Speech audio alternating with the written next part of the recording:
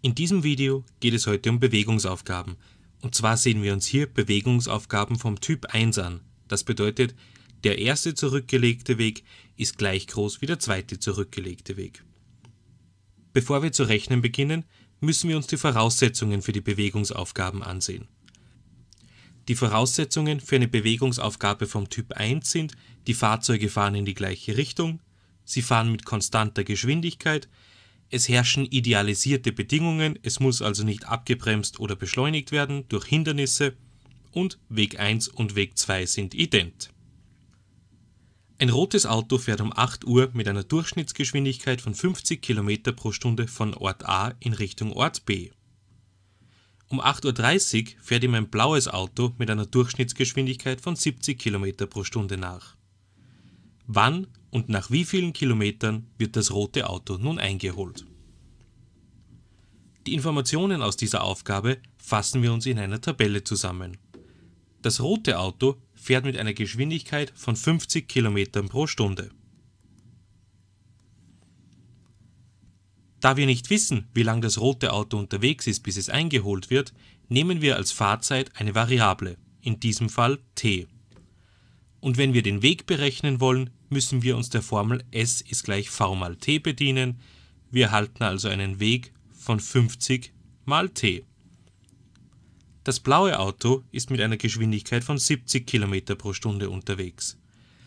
Da es eine halbe Stunde später losfährt, fährt es nicht eine Zeit von t, sondern eine Zeit von t minus 0,5, wobei 0,5 hier für die halbe Stunde der späteren Abfahrt steht.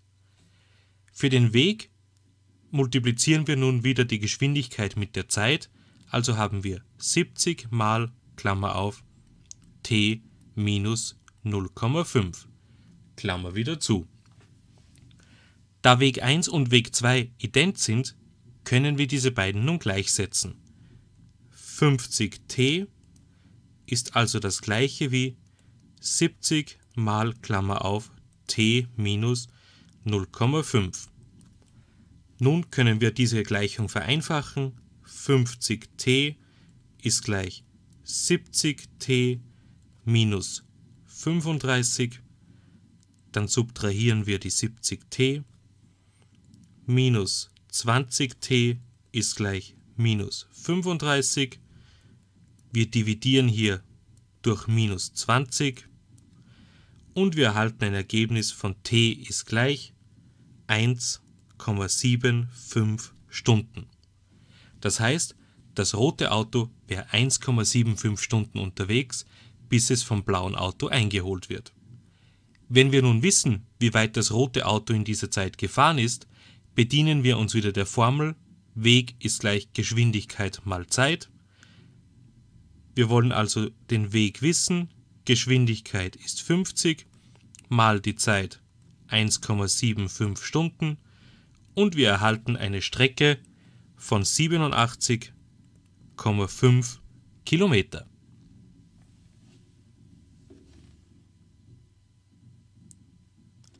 Das Ganze lässt sich nun auch grafisch lösen.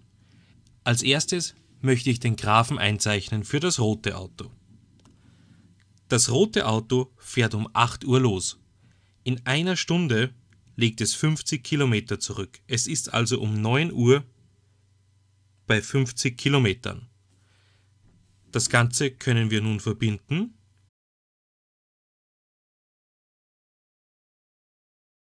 Und wir erhalten nun den Graphen für das rote Auto. Dasselbe können wir nun auch für das blaue Auto machen. Das blaue Auto fährt erst um 8.30 Uhr los und legt in einer Stunde 70 Kilometer zurück. Es fährt also um 8.30 Uhr los, eine Stunde später ist es 9.30 Uhr und um 9.30 Uhr wäre es bei 70 Kilometer. Wir verbinden also 8.30 Uhr mit den 70 Kilometern bei 9.30 Uhr.